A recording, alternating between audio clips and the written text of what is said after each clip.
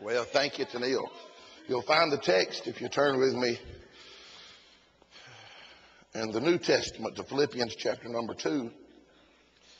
And I sure have enjoyed being here these last few days. I was able to come in uh, on Thursday and be a part of the meetings and heard the great preaching. Enjoyed that good message uh, by Brother Bobby this morning about the will of God. And uh, I surely want to be in the will of God, don't you? And I'm glad to be saved, part of the family of God, but I want to follow after the will of God with my life. Uh, I called Brother Bobby. Brother Bobby, he's a good man for advice. I guess it was uh, about five years ago, the Lord began to open doors for me beyond my expectations and uh, had about two years booked in meetings.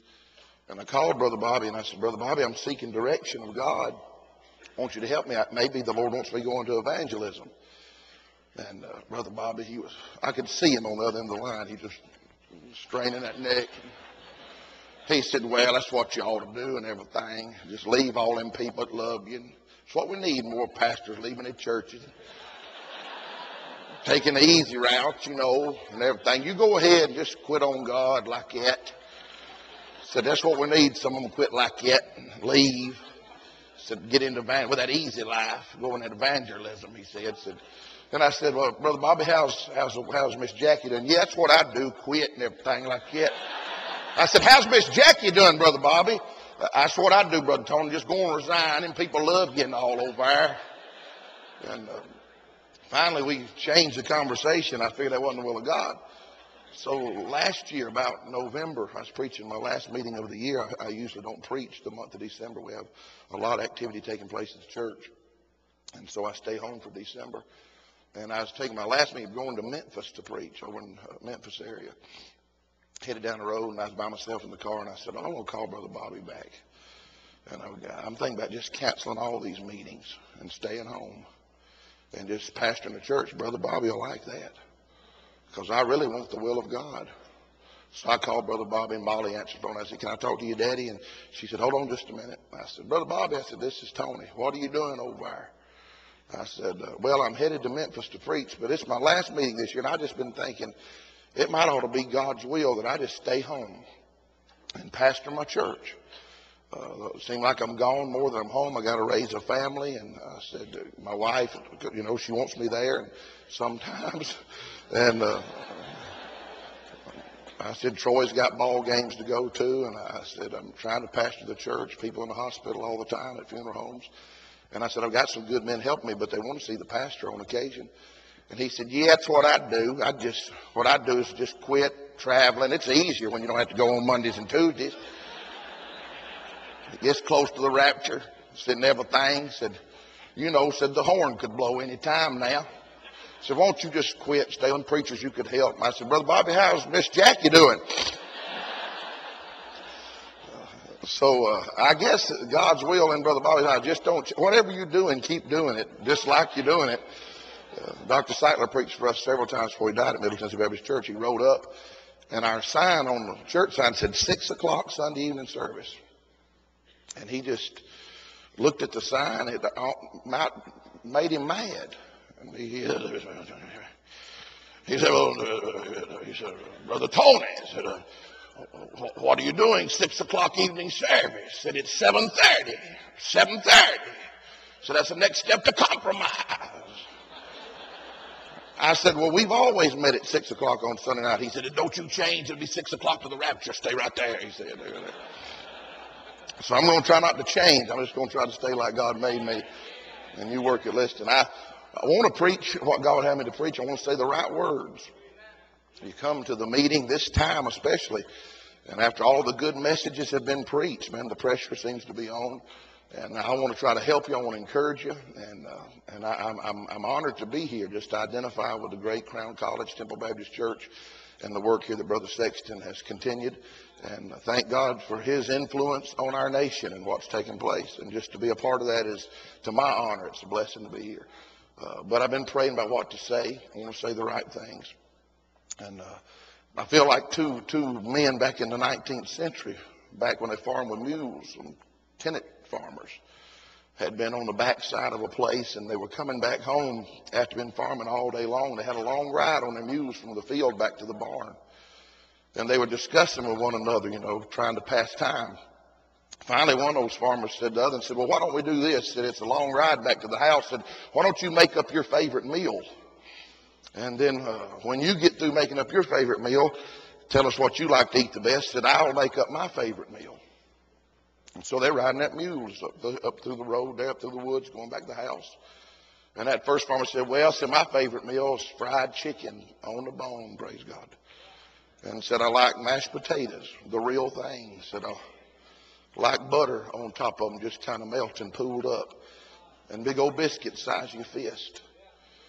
And said, I like sweetened iced tea. Put the sugar in while it's good and hot so it'll melt down. And he got describing, and said, when I get through, said, I want a big old slice of watermelon. With, I'm talking about that seedless hybrid watermelon uh, with a shaker full of salt sitting right there. And so all of a sudden, that other fellow just jumped off his mule, walked over and picked up a stick about that long, reared back and knocked that man off his mule, knocked him down on the ground. I said, What are you doing? He said, Man, you didn't leave me anything to say. He said, Praise God. and, uh, so I won't try to preach. And I want to say the right words. I heard about a fellow who had lived in the country. His mom and daddy still lived out there in the country. And he moved to the city. He was going to uh, send them back some kind of gift of appreciation, some uh, some monument of appreciation. So he thought, well, my mother likes nature. And so he found an exotic bird and he sent that bird back to his mama. And uh, after about three days, he figured it had arrived. And so he called his mom on the phone and said, Mama, said you get that bird? And she said, Yes, son. Said that thing was delicious. Said, I tell you what. Said didn't have much meat on it, but Daddy said it tasted good, and said send us another one just like it, maybe one a little bit, a little bit bigger. Amen. Said, but we like that thing. He said, Mom, I can't believe this. Said you just, I cannot believe what you've done. Said that's an exotic bird. And said I paid over, I mean thousands of dollars for that bird, and that bird could speak twelve languages. She said, Well, he should have said something when I got to heating up the stove, praise God. hey, God help us to say the right thing at the right time. Amen. And then to look at this crowd, what a privilege getting preached to y'all, man. It's, a, it's, it's an honor to be here. And I, man, I got called to preach when I was younger. I didn't tell too many people about it till later. And uh, I, I, announced, uh, made a profession of my call as I got up in my uh, later teen years. But to be here is a dream come true. It's like a wish to be come true. I heard about a fellow who was standing at a wishing well with his mother-in-law. And his mother-in-law flipped a penny over in that well. About that time, boom, just a big old, I'm talking about a diamond ring, looked like a rock hanging on her hand. He looked at that and he fumbled through his pocket and finally he said, said, uh, could I borrow a penny? She said, here. He flipped that penny over there and all of a sudden his mother-in-law just fell over in the well and began to drown. She died, sunk down the bottom of that well. He scratched his head. He said, Man, I didn't know those things really worked like that. He said, Amen. God help us. That ain't that awful. Praise God. Ex Philippians chapter number 2 and verse 5. Why don't we stand together one more time? And I promise you I won't preach very long tonight. I, th- I thought they had one preacher at the last service so he get all the time he wants. But I've been told otherwise.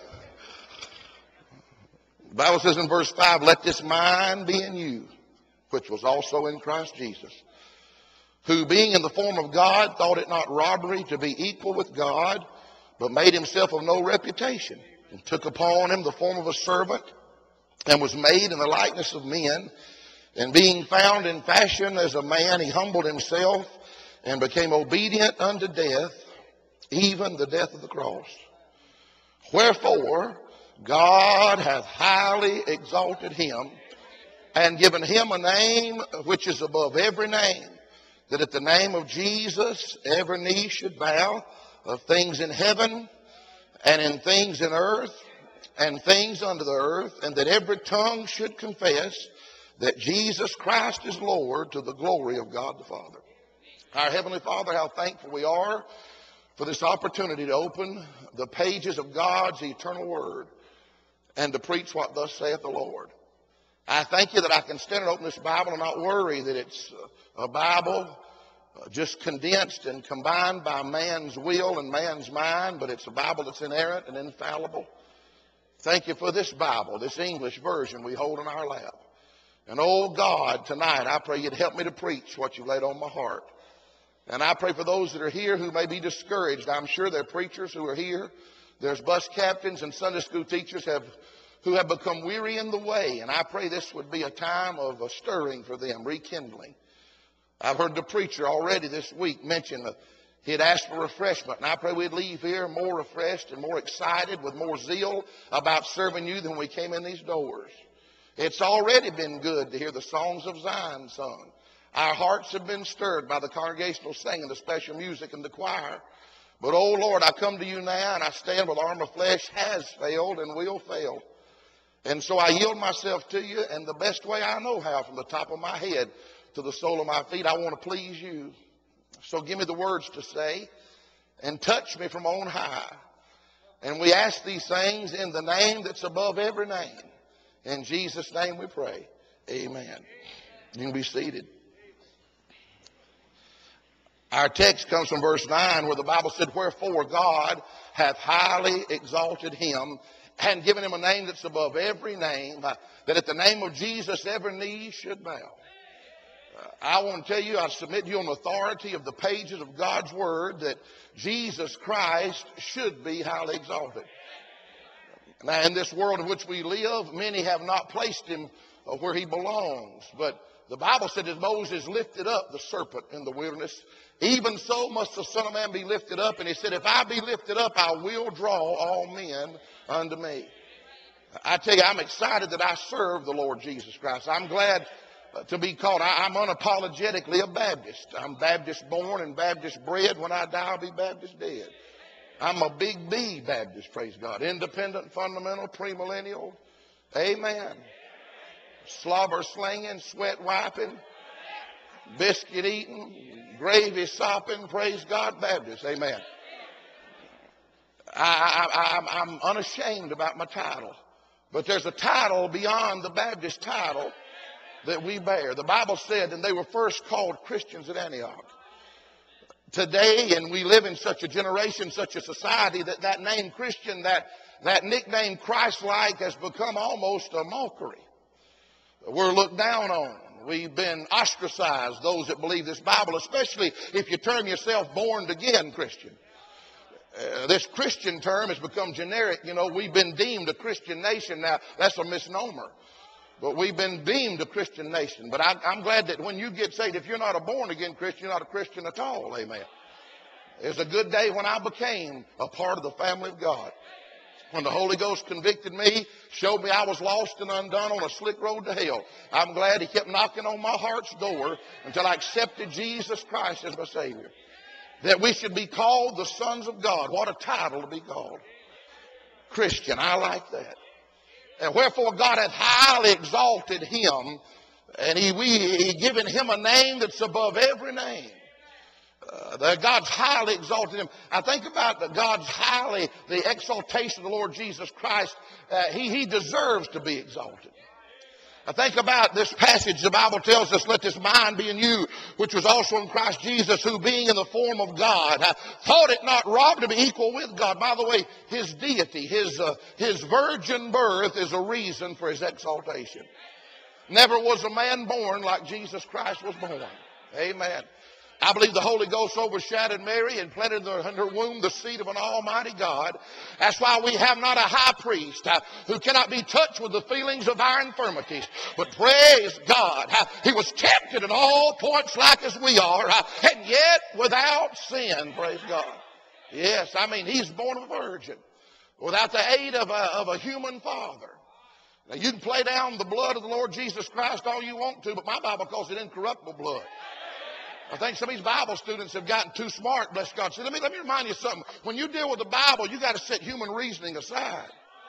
His ways are not our ways, and neither are his thoughts our thoughts, saith the Lord. You'd be better off just claiming what the Bible said incorruptible blood of the Lord Jesus Christ. Amen. Seems like it creeps in on some of our campuses around these Bible colleges sometimes, playing down the importance of that shed blood. Amen. It's eternal, friend. Amen. I'm saying, wherefore God uh, hath highly exalted him, uh, hath given him a name, uh, that's above every name. Uh, hath at the name of Jesus, uh, every knee should bow, every tongue should confess that Jesus Christ is Lord to the glory of God the Father because he ought to be exalted uh, because of his virgin birth. Never a man born like he born. He ought to be exalted because his, uh, his, his life, I think about his virtuous life. Never one time yielded to sin. Amen. No man ever lived like he lived. Every single temptation you've ever had, he's had.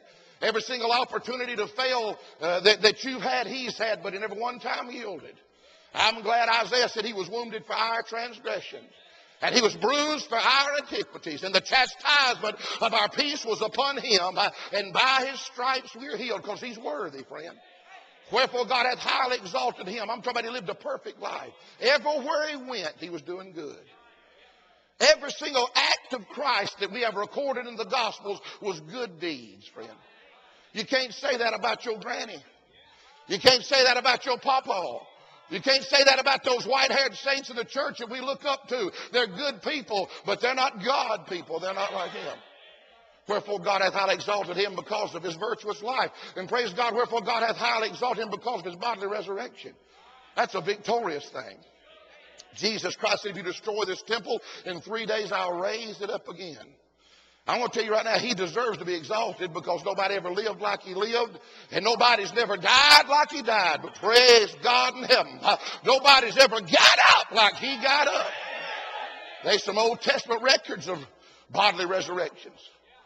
The debut of bodily resurrection shows up in Elijah's life. Elisha raises two from the dead. We find other recorded resurrections in the New Testament, but see, none of those hold a candle to our Savior's resurrection. He said, if you destroy this temple, he predicted. He predicted, by the way, they didn't take his life, he laid down his life. He said, I mean, he's able to lay it down and take it up, praise God. But on that third and appointed day, uh, 72 hours after they put him in the tomb, uh, praise God, uh, when the stone rolled away, amen, the rock of ages walked out of that tomb, praise God. He said, I'm he who was alive, but de- he said was dead, but I'm alive, and I'm alive evermore. And he ever liveth, praise God. He's not, look at me, you say, well, I wonder about God. Listen, he's not dead. He's not even sick. He don't even feel bad, friend. He's an ever, he said, I am the resurrection and the life. I am the resurrection and the life. He that believeth in me, though he were dead, yet shall he live. And whosoever liveth that believeth in me shall never die. Praise God. Wherefore God hath highly exalted him. Never man lived like he lived, never man died like he died, never man born like he's born. And you and I bear that name Christian. I'm not ashamed of the title. I like it. I want to be identified with Christ. I want my life so to imitate the Lord Jesus Christ that when they see me, they say, You're a Christian. Are you a Christian? You, you act like a Christian. We have a grave responsibility, ladies and gentlemen, this evening. We've been handed down a name that's above every name. A lot of titles I'm proud of, but no title like that name Christian. It's a wonderful privilege to be called the sons of God. And I think about that name. I, I look at the Bible and the name of the Lord Jesus Christ, and we study his name. It's a name of power. There's power in the name of the Lord Jesus Christ. There's just something about that name. Old Gaither had it right when he wrote that one, praise God. Kings and kingdoms shall all pass away, but there's something about that name, Jesus. There's power in his name. I've seen the name Jesus. Listen now. I've seen the name Jesus grip the hearts of a hardened sinner. They came in a church house and they were maybe cold and indifferent. Their minds were a long ways from what was taking place. They just waiting for it to get over. But somewhere during that, somewhere during that service, Jesus got involved. There is a name I love to hear and I love to sing its worth. It sounds like music to me, or the sweetest name on earth. What a lovely name. Our choir sings a song, What a lovely name, the name of Jesus. That name, Jesus, is the name of power. Our text, once again, He's highly exalted Him and given Him a name that's above every name. It's the name of pardon. The Bible tells us in Acts 4, neither is there salvation in any other, for there's no other name under heaven given among men whereby you must be saved. Bible said John 1 11, he came into his own and his own received him not.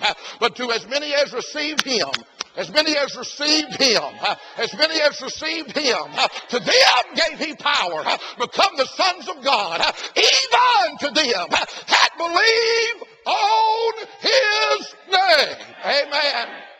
Oh, yes. Jesus said, I am the door, John 10. He didn't say, I'm a door. He said, I'm the door by me. If any man enter in, said he shall be saved. Uh, and going out and find pastures. He said, I'm the way, the truth, the life. Uh, no man uh, cometh unto the Father except by me. Amen. You can try all you want to, but look at me. No Buddhist will make it to heaven. The Muslims can try all they want to as sincerely as they want to, but there's no other name, no other name, never has been, never will be. No other name never has been, no other name never will be given among men, whereby you must be saved. There's something about that name, friend. It's a name of pardon. If you're lost and undone, I want to tell you something. A Baptist title won't get it done. I'm not naive enough to think we've got the monopoly on God now. Hey, you better get born again. You better, church membership's not going to get it done. Well, I'm an American. This is one nation under God. We recognize God. Wait a minute. Um, hey, look at me. Your, your citizenship on this earthly uh, clay's not going to get it done. But there is a name of pardon the name of Jesus. Wherefore God hath highly exalted him. I think he's highly exalted because his name is a name of power. His exaltation equates his name with the name of pardon. I think that's the name of preeminence. If you want to, mark your spot in Philippians. Just turn with me a couple of pages over, and you'll find in Colossians, chapter number 1. and verse 15, the Bible said, Who is the image of the invisible God? The firstborn of every creature. For by him were all things created that are in heaven and that are in earth, visible and invisible, whether they be thrones or dominions or principalities or powers, all things were created by him and for him. What about that? And he is before all things.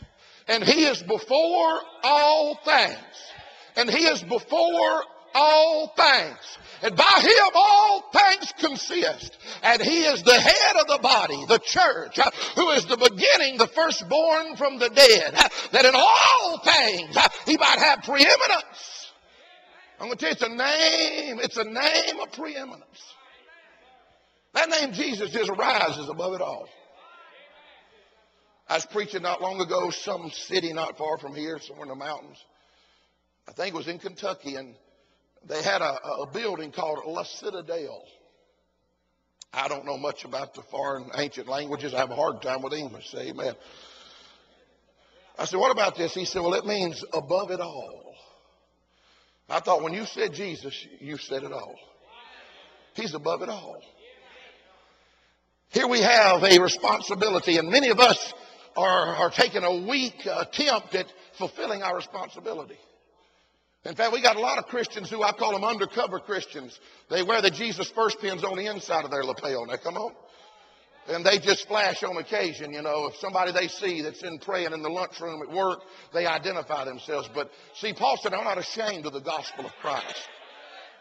And Jesus said, if you'll be ashamed of me before men, he said, I'll be ashamed of you before my Father which is in heaven. If we've ever needed to declare our loyalty and our declaration to follow the Lord Jesus Christ in these dark hours in which we live, this Laodicean time, I do believe the sun is setting on the age of grace, and it won't be very long till the Son of Righteousness shall arise with healing in his wings. But until then, we need to exalt his name. I think about that name, the Lord Jesus Christ. You know, we have a responsibility to praise his name. Now, I know some of y'all get nervous about that. But see, the doxology is not just some song they sing in these colleges after the offering.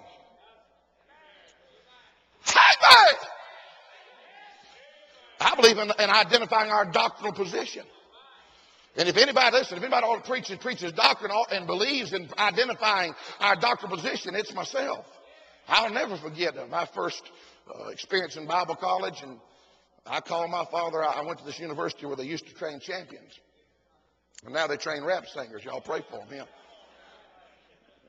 I'm going to say the right thing with the right spirit.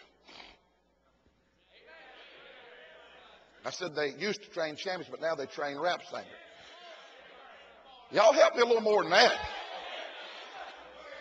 Amen. Watch it, and I'll never forget that teacher teaches class, great man of God, and I called my daddy. I said, Daddy, Daddy, Daddy, Daddy, Daddy, Daddy, Daddy. I said, I know you want me to go home. He said, You got in trouble already? I said, Daddy, you can't get in trouble at this school where I'm at, praise God. That's impossible to get in trouble. He said, What's the problem? I said, You want me to come home? I said, I'm, they, they, They're teaching a class called apologetics. I said, I ain't apologizing. He said, What are you talking about? I said, Man, they're teaching on the virgin birth and they're teaching on these doctrines, the, the, the verbal plenary inspiration of the scriptures. I said, Daddy, I said, I ain't apologizing for nary thing I believe about this Bible. He said, Boy, don't you know anything? I said, Well, I mean, it said, sound like to me we won't apologize. He said, That's the defense of the faith. I said, If I ever have anything to do with Bible college, we ain't calling it apologetics. We're going to call it the defense of the faith, bless God. I don't want some, hey, I don't want, I don't want, I don't want anybody confused with some, some mentality that I'm ashamed that Jesus Christ got up from the dead, praise God.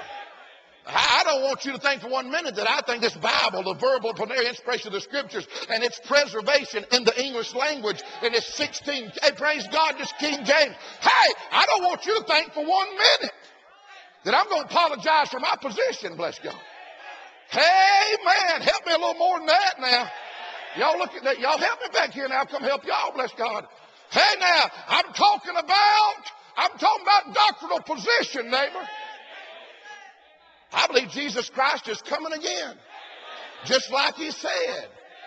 Hey, let not your hearts be troubled. You believe in God. Believe also in me. In my Father's house, praise God. Are many mansions. If it were not so, I would have told you.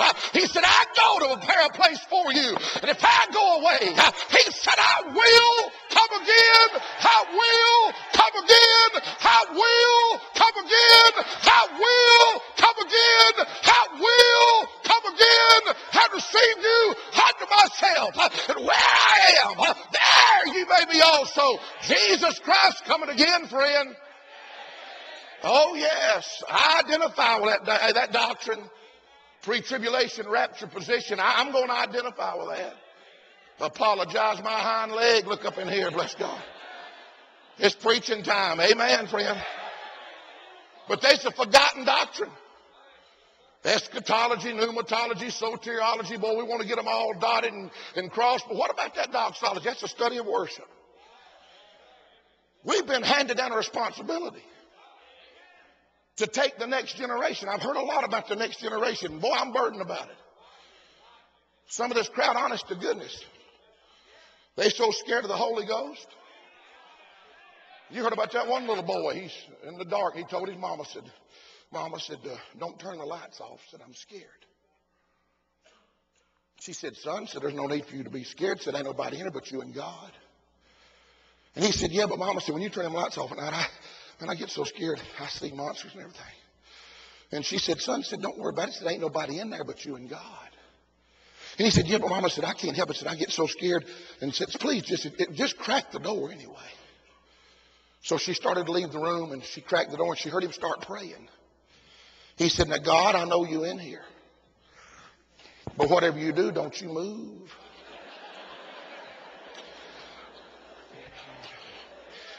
Because if you move, you're going to scare me to death. Amen. Many are called, but few are chosen. Many are cold, and some are frozen, bless God. We have a responsibility. Come before his presence with singing and into his courts with praise. The Bible tells us, and I think about it, Psalms 113, 1 through 4, praise ye the Lord. Praise, O ye servants of the Lord. Praise the name of the Lord. Blessed be the name of the Lord from this time forth and forevermore. From the rising of the sun to the going down of the same. Uh, the Lord's name is to be praised. The Lord is high above all nations and his glory above the heavens. Psalms 54, 6 said, I will freely sacrifice unto thee and I will praise thy name, O Lord, for it is good. Uh, Psalms 34, 3 says, Oh, magnify his name together. Let us magnify his name together, the Bible says. Now think about that, that forgotten doctrine. It seems like as though there's some of our movement who've become the high sheriff of worship. Some institutions, you know. Amen. They, they try to throw wet blanket on the old time way. They come back from Bible college and they'll say, Well, we used to sing those songs. They'll say, Well, we used to sing those songs. And we that, that's the kind of and like it's some kind of like something's wrong with it. Amen, neighbor. Like it's become, they become the, we're the one who decides. I'm going to tell you, my Bible tells me, and it's in yours too. Matthew 18, verse 18. And whatsoever things you shall bind on earth shall be bound in heaven. And whatsoever things you shall loose on earth shall be loosed in heaven. God never has given an individual the right to bind or loose anything. Don't y'all get too quiet. I'm still in the King James. God never has given an institution. Amen. God's given the New Testament church that authority. You say the context there, verse 19 deals with prayer, but the previous verses deal with church discipline. What things you loose on earth shall be loosened. That's what we permit. That's where we put our sanction of permission on. Whatsoever things that you bind, that's where we bind. That's a, that's a legal term that it stops here. This is as far as you're going. There's some things that our church is bound. We bound him while he's dressed in the choir loft. We bound that. Amen. We bound deacons that's going to sell beer in their store down the road. We've tied that up. We bound that. We have the authority. By the way, it never has been Hollywood's job to, to go ahead and draw the lines on what's fashionable. It never has been the uh, uh, uh Capitol Hill's job uh, to sanction what's permitted as far as legality is concerned. They can try to legalize abortion all they want to, but the church ought to say it's wrong. Amen. And where two or three are gathered, it don't take a big crowd to bind anything. We've just lost our influence. He said in verse 20, for two or three are gathered in my name. There I'm in the midst of them. We just got to bind in a few things than our church. Amen. We got the power to bind it. Yes. We got to bind in them, them eh, what's what you call them, them prom dances. I'm getting three amens. I thought y'all all believe that. We started, hey, we started binding high prom dances. But see, we got to loosen some things too. We got to loosen. We got to loosen old fashioned audible praise. It, it's still a biblical principle. Come before his presence with singing and to his courts with praise. And we have a responsibility. We have a responsibility. We've been handed down. Brother Tim Cruz, you've been handed down something a lot of this young generation never tasted. Hey, we've been handed down something. And we have a grave, weighty responsibility to pass it back. I'm talking about, man, there's the next generation that's starving for the old time way. They're so hungry. They, I mean, they dying for it. But old Dr. So-and-so said you couldn't do that in church. Hey, I'm glad here at Crown College they don't come back and try to correct our music program. I'm glad you can send a student here and you don't have to come back and say, well, now we just, we learned that we don't do it that way. Hey, amen. Hey, I'm glad, praise God, and we've been commanded. We don't even have an option in it. There's no vote about it. Hey, we've been commanded to praise Him. The Bible said, Psalms 150, praise ye the Lord. Praise Him in the sanctuary. Praise Him in the firmament of His power. Praise Him for His mighty acts. Praise Him according to His excellent greatness. Praise Him upon the loud cymbals. Praise Him on the high sounding cymbals. Praise Him on the psaltery and harp. Praise Him with the timbrel and dance. Let everything that hath breath let everything that hath breath, let everything that hath breath, let everything that hath breath praise the Lord. Praise ye the Lord. Oh, you don't have to act like I do to praise him, but see, you can't praise him, look at me, undercover. You need to get in the song service. Don't wait till three or four verses are sung and then decide I'm getting in. Hey, good neighbor, you need to hop in on the first verse, bless God. Well, that's not my favorite number. You got some of those. Now, I like that mansion over that hilltop we sang last night. Some, some songs I may not know all the words, but bless God, I can hum. Say amen. Wasn't long ago, Dr. Lee Roberson was preaching for us. Hey, we had I Love Bus Kids Sunday. 220 something juniors come walking in. I'm talking about, man, just off the streets. We emptied our choir off here. They came across the platform. I mean, 200 something, nine years, 12 year olds. Filled up the whole platform It's hanging off either side. I mean, little boys up there with beer t-shirts on, Budweiser t-shirts. Dirty, nasty. You could see stains on their face where tears had been running down. Still got leftover breakfast on their chin. But they got to singing that song, I just want to thank you, Lord. Dr. Roberson sitting there, Miss Roberson. And I got to feeling something on that thing.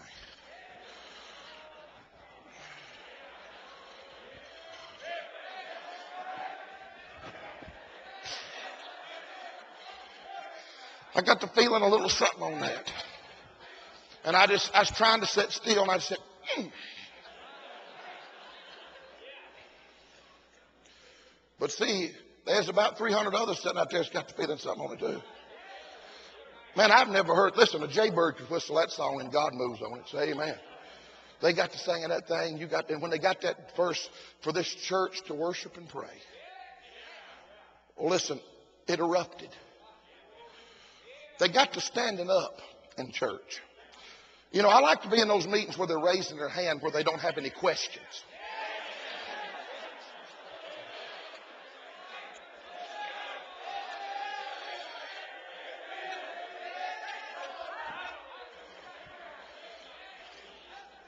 Some of them got to moving out into the aisles.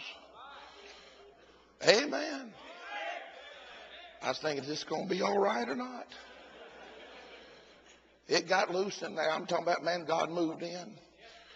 And you say, well, uh, now you hyper spiritual. Well, when God moves in, you fall on your face and cry holy. Well, sometimes you do. But sometimes you get happy too. The presence of God will bring joy to the life of a believer a manifestation, a, a, tangible manifestation of the power of God. It ought to bring joy to everyone that believes this book. I said, man, I hope this is okay. After we had a spell, I mean, it went on, you know, it went on, and they sang another verse and sang another verse, and they sang another verse. She said, why was they doing that? Because I was telling them to. After a little while, Dr. Roberson got up and I was singing, Oh, Jesus, help us now. He's fixing to get me. That gentleman walked behind that pulpit, double breasted, blue suit. Hallelujah. He said, Well, said, Thank God for life. Thank God for life. Amen. Praise the Lord. What? Said, Tell them, honey, we're in some dead churches. Dr. Roberson. After the service, Miss Roberson said, yeah, that book y'all use said y'all sang a lot of songs. Said said I don't know the words to them, but I like the way they go. I said, would you write that in front of my Bible and put your name under it? Praise God. I need that. I'm going to tell you right now, look at me. It's still in style. We have a responsibility to praise his name. We have a responsibility. Hey, amen. We have a responsibility. And you got a Bible right too. I don't want to stay here all night, but I feel pretty good about it. We have a responsibility to propagate his name. I think about the name of the Lord Jesus Christ, and uh, we ought to publish his name. The Bible and the New Testament talk about they published the news abroad. They begin to proclaim. They begin to propagate. That, that word propagate, it means to spread from person to person, to carry from one place to another, to generate, to produce, to extend to its fullest. See, we have a grave responsibility to praise His name because if we don't, who's going to? Benjamin Franklin said the greatest tool of evangelism in early America was corporate worship. That's when everybody got involved. We have also a responsibility to propagate His name. As I've combed through the Bible, I've, i believe I found three basic ways, three sanctioned uh, tools that God's given us that we can propagate the good news of the gospel of the Lord Jesus Christ. I believe that primary way is through the preached word. The Bible says in Matthew 4 17, and from that time Jesus began to preach and to say, Repent, for the kingdom of heaven is at hand. He said in Luke 4:18, "The Spirit of the Lord is upon me because He hath anointed me to preach the gospel to the poor. He hath sent me to heal the brokenhearted, to preach deliverance to the captives and recovering of sight to the blind, to set liberty them that are bruised." Acts 5:42 said, "Daily in the temple and in every house, they cease not to teach and preach the Lord Jesus Christ." Paul said, For as much as is in me is, I'm ready to preach the gospel. 1 Corinthians 1 17, for Christ sent me not to baptize, but to preach the gospel, not with wisdom of words, lest the cross of Christ should be made of none effect. The Bible said, Colossians 1 28, whom we preach, warning every man and teaching every man in all wisdom that we might present every man perfect in Christ Jesus. 2 Timothy 4 2 said, Preach the word, be instant in season and out of season. Reprove and rebuke and exhort with all long suffering and doctrine. For the time will come. Good neighbor, the time has come uh, when they'll not endure sound doctrine, but after their own lust uh, shall they heap unto themselves uh, teachers having itching ears. We're living there. Preach. I thank God for the premium God's Word puts on Holy Ghost unctionized preaching. Amen. I like good singing, but I love preaching. I like in good quartets, but I love preaching.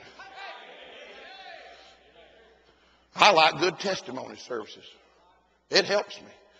But I want to tell you what helps me more than a good testimony service is to preach the word. Preach the word. I believe our primary tool to spread the gospel is the preached word. The Bible said when the world in its wisdom knew not God, said it pleased God through the foolishness of preaching, preaching, preaching, preaching, preaching, preaching, preaching, preaching, preaching, preaching, preaching to save them that would believe. Preaching. This mama called and Papa sent, God help. Little potato string backbone, rose water squirting. Dearly beloved, we gather to this morning to worship. Breathe out an air conditioner on the congregation. Mama's nudging daddy just to keep him awake. Amen. Preaching, friend. Not foolish preaching, but the foolishness of preaching. The preached word. I mean, there's a secondary tool to propagate, and that's personal witness.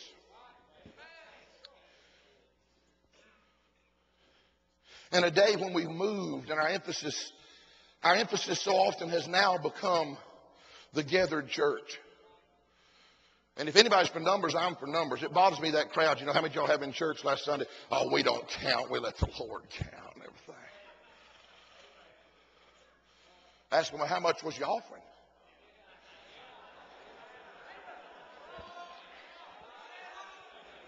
They count what they think is important.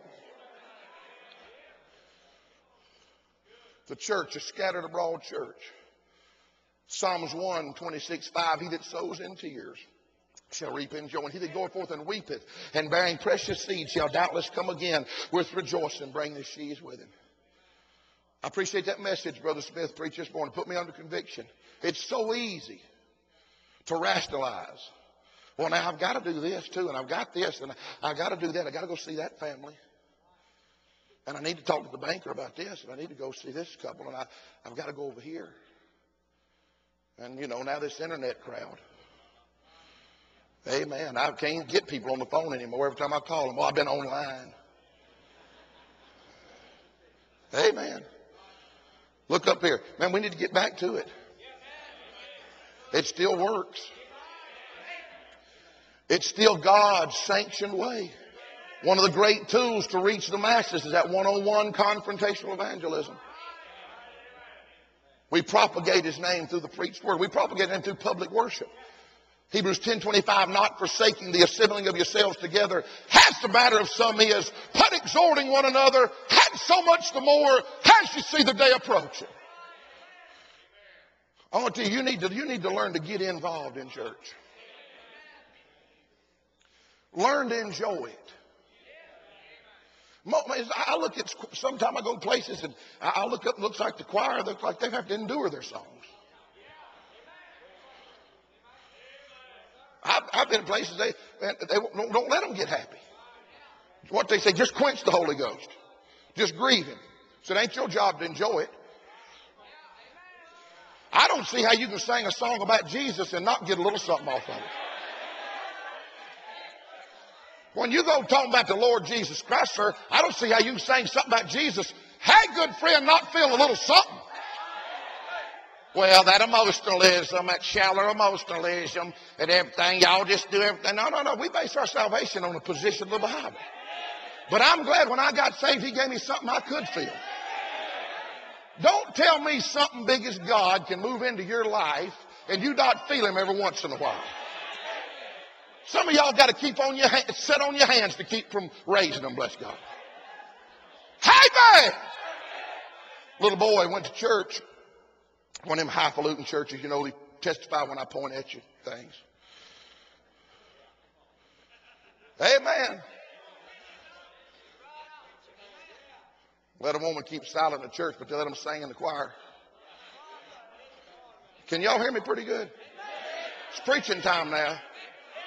And here they are, sir, and that little boy sitting on the front row. And he'd get excited. I mean, preacher gets exalted in Christ, bragging on the Lord, and in a minute, Brother Sexton, he'd say, Wonderful. He hadn't been saved long, but he, he knew he liked it. Something would come on and he'd get to, he'd get to sing a song about he bragging on Jesus and he'd say, mm, glory, hey man, or something. Finally, the pastor was approached by some of those upper crust in the church. Where, you know what the upper crust is? Just a few crumbs up at the top. Now, Pastor, now, Pastor, uh, we're going to have to, um, you're going to have to calm him down. He's disturbing our worship. No, what he's doing is worshiping. He's disturbing your sleep. He ain't disturbing nobody's worship. He's worshiping. He's disturbing their sleep.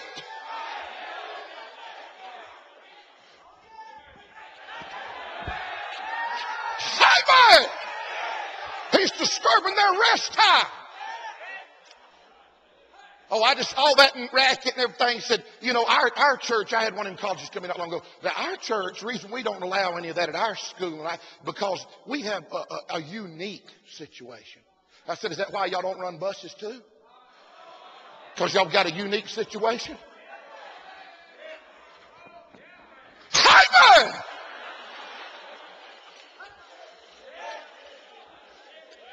It's preaching time now.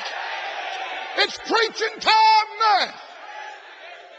That little boy sitting on the front row, we just can't, all that. We can't even hear the preacher when all that's going on. We can't even understand. You've got these speakers hanging everywhere. You can't hear the preacher. You ain't trying to hear the preacher. All them college boys get excited, jump up. Well, they, I've learned a long time ago, all that wildfire. What about that wildfire? Well, I've learned there's enough icicles in the church to cool it down, bless God. Amen. Hey, Amen. That little boy sitting down there, and that little preacher comes to him and said, Now, buddy, said, I know you like to praise the Lord and everything. He said, but you, you know, you're disturbing some of our members. They can't concentrate on the message or whatever they think they can't do. And said, uh, if you could just calm down, said, you know that little red pair of cowboy boots?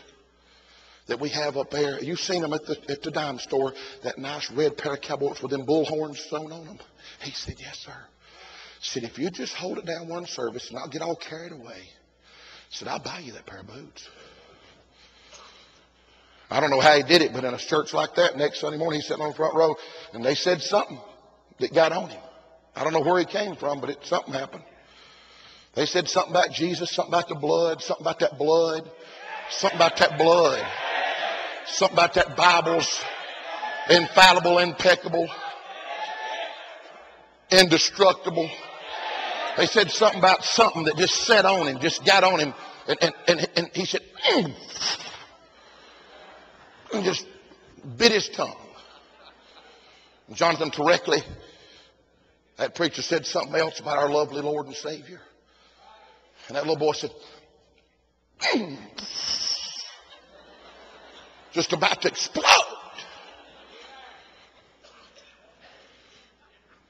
Finally, he's got to bragging on the Lord. That little boy just jumped up. He said, Boots or no boots, well, glory!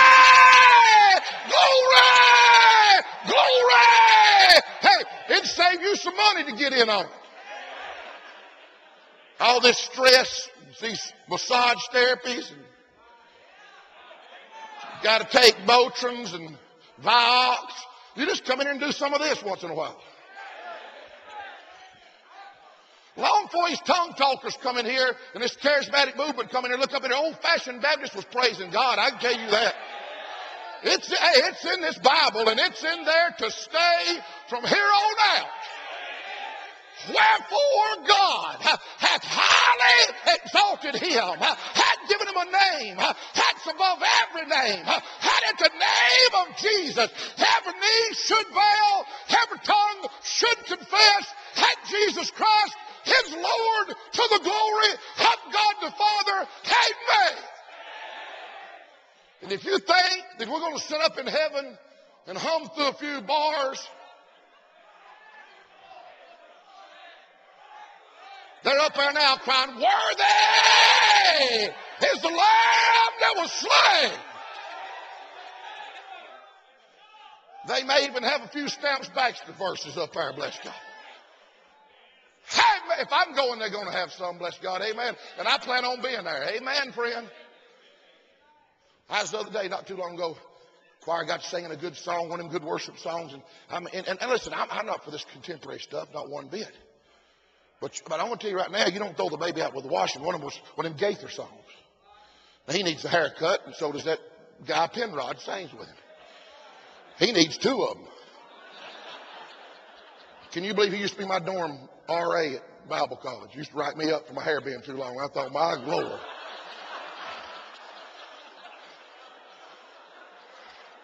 Joker, he got a ponytail hanging down on his back. It's preaching time. He asked me to come. Look up in here now.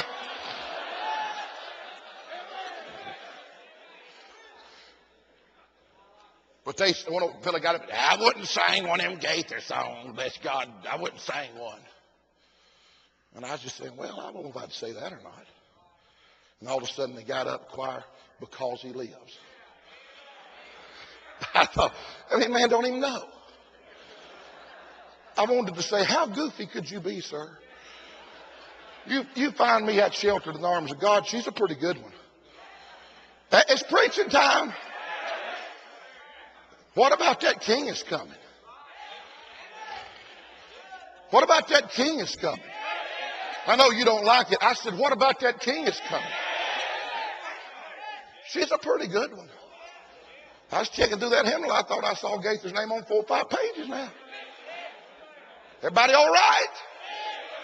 It's preaching time. I'm talking about, man, we've been given a great weight of responsibility to propagate his name. You do that through public worship. Sinners, you say, well, I, I just don't want sinners to get nervous because what's the sinner going to think? Somebody jumps up and shouts. They going to think he's got something I ain't got. Before I ever got saved, I'm going to tell you right now, before I ever got saved, I was brought up in it. I've been in meetings and they'd get to testify, and I've seen my mother testify to the pins fell out of her head. Now she sang soprano. She sing alto, but now she sings soprano. But I remember what you sang alto. I'm talking about, I, before I ever got saved, when they get to testifying, get to worshiping God, get to shouting, I knew something was going on. I didn't even know what was going on, but I knew something was bigger than me was in there. I tell you, the last thing I was going to do was criticize it. Oh, look at them trying to draw attention to self. You don't know what that woman's just been through, man. Sir, before I started criticizing somebody praising God and worshiping God, hey, you don't know what prayers he just got answered. You don't know what he's been going through before I started looking down my spiritual nose at somebody. Hey, sir, making fun of them. Hey, I might want to get in there. Bible said, rejoice with them that rejoice and weep with them that weep. We got a Bible right to rejoice with them that rejoice. It said, rejoice with them that rejoice. That's in the King James. It said, rejoice with them that rejoice. Rejoice with them that rejoice. Amen. Been handed down responsibility. I'm going to try to hang on to it best I can and give it down to the next generation. They're going to need a little fire. Amen.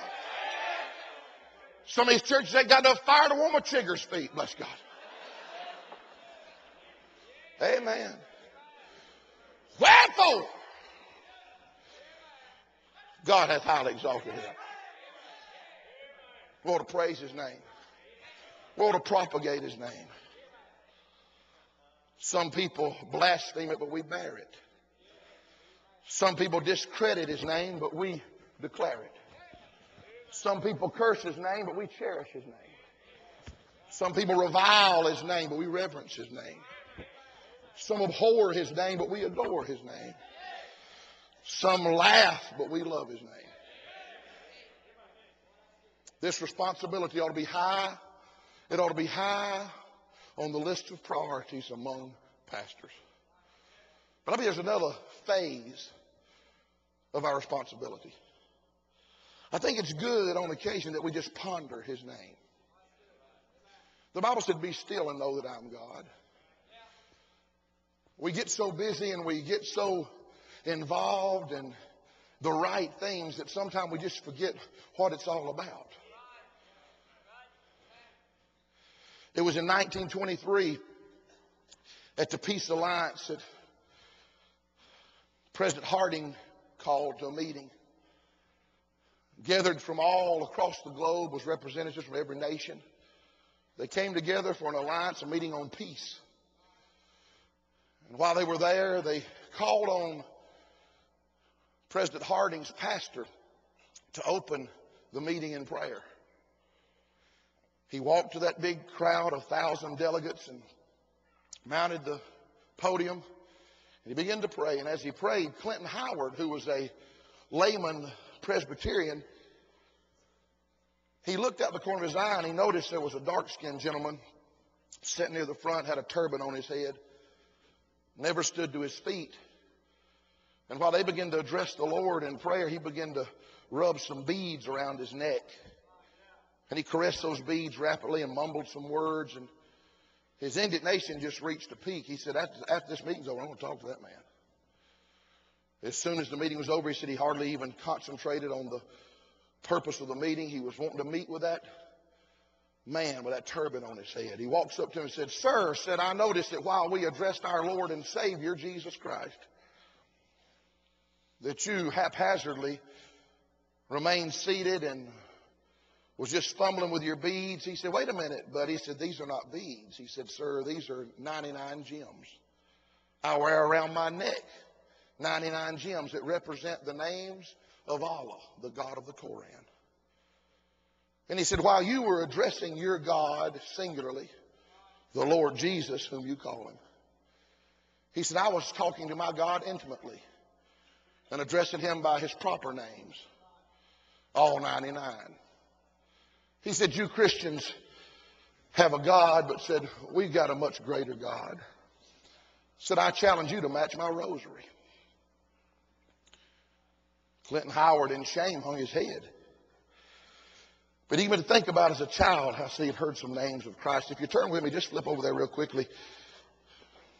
in Matthew chapter number one. He was rehearsing in his mind the names that his Sunday school teachers had shared with him. He thought about the birth of his Savior. He had memorized that passage as a child. And he thought about chapter 1, verse 21, as the angels came and and the Bible said in verse 21, and she shall bring forth a son, and thou shalt call his name Jesus. For he shall save his people from their sins. And he thought, there's one. He thought about in Isaiah. You might want to flip over there to Isaiah chapter number 9. Verse 6. For unto us a child is born. Unto us a son is given, and the government shall be upon his shoulders, and his name shall be called Wonderful, Counselor, the Mighty God. He said, That's two, three, four. The everlasting Father. He said, That's five. The Prince of Peace. He said, There's six. And he set out over the next year to comb through his Bible, and he compiled his own list of names. He said he is called Jesus. He's called the young child. He's called thy holy child. He's called the Nazarene. He's called Jesus of Nazareth. He's called the Lord. Uh, he's called the Lord Jesus. He's called the Lord from heaven. He's called the Lord of glory. He's called the Lord of the righteous. He's called the Lord of the holy prophets. He's called the Lord and Savior. He's called my Lord and my God. Uh, he's called Jesus Christ, Christ Jesus, the Lord and Christ. He's called the Lord's Christ. He's called the Christ of God. Uh, he's called the Lord Jesus Jesus Christ. He's called the Lord of the Sabbath. He's called the Lord of hosts. He's called the Lord of heaven and earth. He's called Jesus Christ our Lord.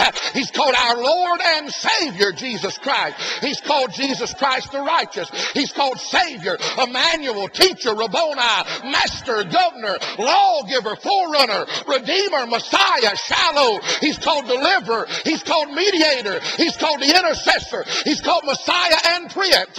He's called a Prince and a Savior. He's called mighty to save. He's called the surety of a better testament. He's the just one. He's the holy one. He's the holy and just. He's the holy and righteous one. He's the holy one of God. He's the faithful and true witness. He's a witness to the people. He's the leader and commander of the people. He's the consolation of Israel. He's called the lion of the tribe of Judah. He's called the first fruits.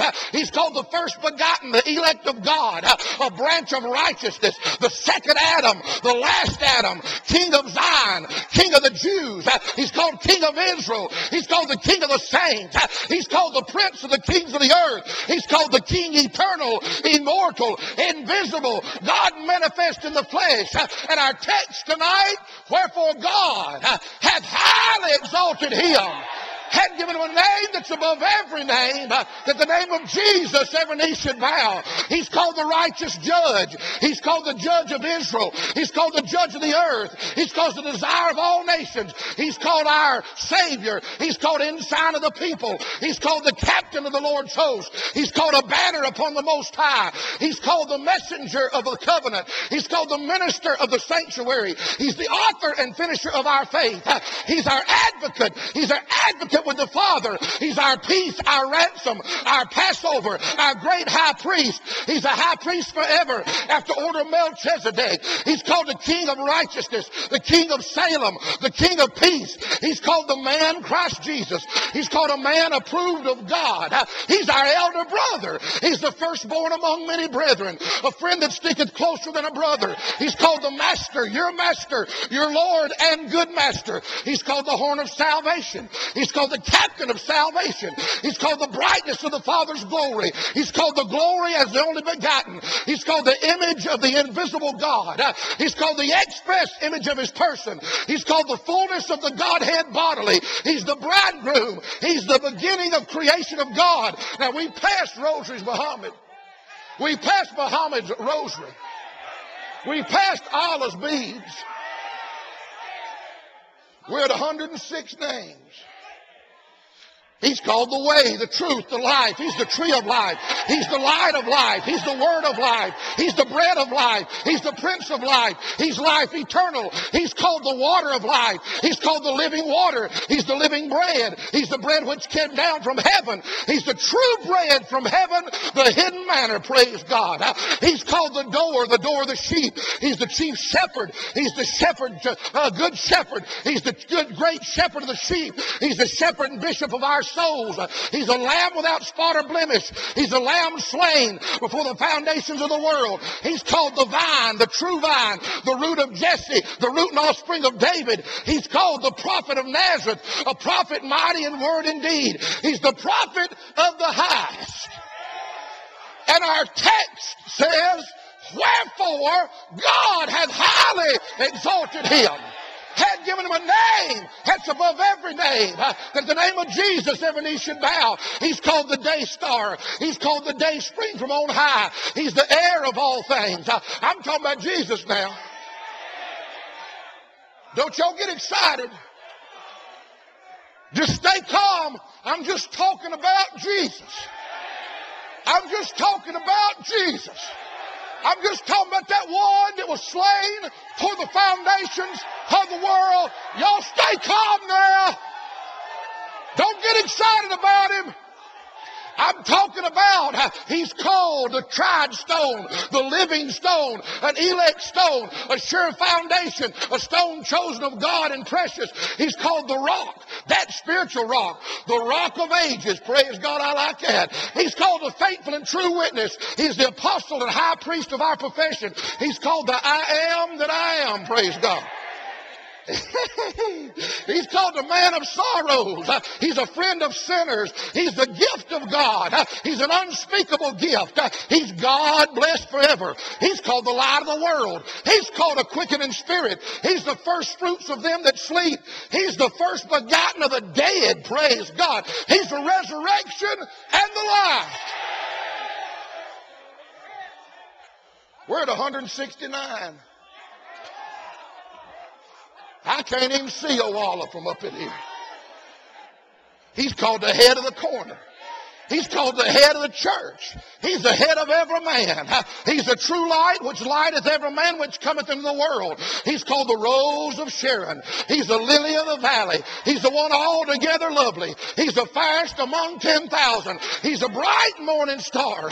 He's called the power of God, the wisdom of God, the gift of God, the word of God. He's the image of God. He's the lamb of God which taketh away the sins of the world. He's called God's elect. Wherefore? Wherefore? Wherefore? Wherefore? God hath highly exalted him, had given him a name that's above every name, and the name of Jesus, Jesus, Jesus, Jesus, Jesus. Amen. Praise God. He's called, he's called the power of God. He's called the wisdom of God. He's called the gift of God. He's called the word of God. He's called the first and the last. He's the beginning and the end. He's the Alpha and Omega. Praise God. He's the Ancient of Days. Oh, Daniel had it right. The Ancient of Days. He'd been around in the beginning. In the beginning was the Word. Amen on that Ancient of Days. Thank God for the Ancient of Days. I like that Ancient of Days. That's a good name. He's called, praise God. He's called, he's called the potentate. He's called God with us. He's called our Savior. He's called the only wise God, our Savior. He's called the Lord which is, which was, which is to come. He's called the Almighty. He's called the Son of Mary. He's called the Son of Man. He's called the Son of David. He's called the Son of Abraham. He's called the Son of the Blessed. He's called the Son of the righteousness. He's called the Son of the highest. He's called my Son. Uh, He's called the Son of His love. He's called the only begotten Son of God. He's called God's dear Son. And this is my beloved Son in whom I'm well pleased. Wherefore, God hath highly exalted him, had given him a name that's above every name. Every name. It's a wonderful Savior. I wonder, with every head bowed and every eye closed, can you look back and say, Well, I've been praising His name? Or have you been intimidated and stifled? I wonder when's the last time you took a gospel track